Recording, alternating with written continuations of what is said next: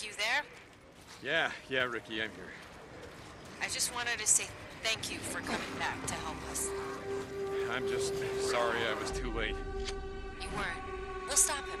Skizzo, we're gonna stop him, right?